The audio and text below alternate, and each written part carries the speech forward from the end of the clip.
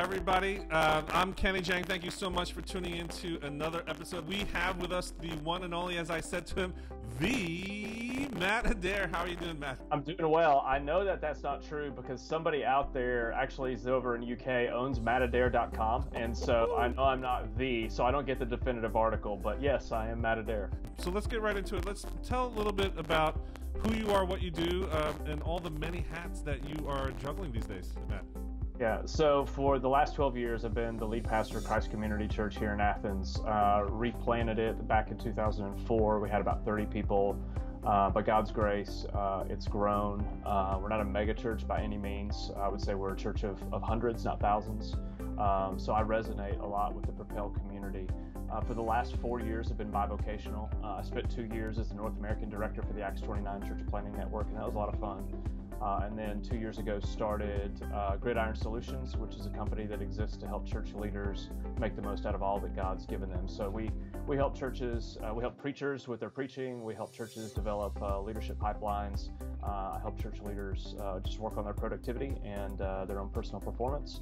And so having a lot of fun. So yeah, juggling you know some things. I got a family here. I've been married to Lindsay for almost 19 years and have three boys, 12, 8, and 5, and so we're having a good time. Tell us a little bit more about all the things that you've done prior to Christ Community.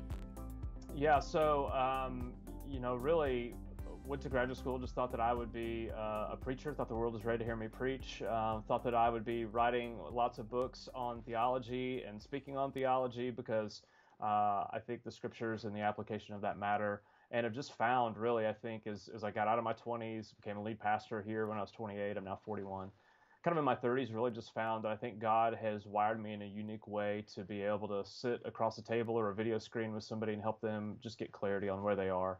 Uh, and so I find myself operating more in the world of system structures, processes, frameworks. What's the subject area category that you're going to be teaching on?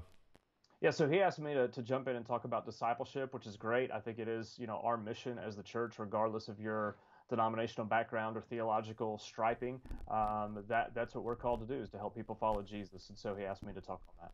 What's the title of your talk? Uh, how to turn your church into a discipleship machine. And uh, when I saw it, I can't remember uh, calling it that. I'm sure I did. Um, and it's easy enough because we talked about the systems and structures necessary uh, to help any church uh, make sure anybody in the church can follow Jesus. Um, and without giving away the punchlines, can you share a little bit about this discipleship making machine that you are going to talk about in the Propel conference coming up? Oh, I, I, think the thing that every church has to to figure out is, you know, what what can we do well? And I think one of the mistakes that we think in our churches that we have to do everything well and so, finding out some very simple, basic ways that you can essentially help people live out what Jesus told us to do, which is love God with all of your heart, soul, mind, and strength, and love your neighbor as yourself. With the gospel at the at kind of as the drivetrain in front of that, because well, we're never going to love Jesus with all of our heart, soul, mind, and strength, and we're never going to love our neighbor as ourselves. So, as we strive to that in response to God's love for us, how does the gospel really open up our lives to that? And so, how do you teach people to do that? So, how do you help people both personally and corporately in very clear, simple ways right. um, have an opportunity to follow Jesus? So, for me, discipleship is something that is not just simply for the special forces in your church. Every single person who would identify as a follower of Jesus is a disciple. So, your core discipleship practice has to be accessible to everybody. And if that means that your your kids are making professions of faith, that it has to go all the way down into your kids' ministry. Um, so it simply can't be for your PhDs and the people who are just looking to read another thick theology book. I think what, what was important for us because we really do cross over some real cultural lines from university students to um, kind of uh, people who are coming back to their faith. Um, and, all the way out to the suburbs where people just consider themselves Christian because they wake up in the morning. And so, what we just said is a very simple strategy of we want our groups to connect relationally and grow spiritually. And we do leave latitude to our group leaders. Some of them do talk about the sermon. Uh, some of them, uh, like right now, we're working with the group that I'm leading. We're, we're reading a book called Designing Your Life on Vocational Development because we want to help everybody integrate faith uh, and work together.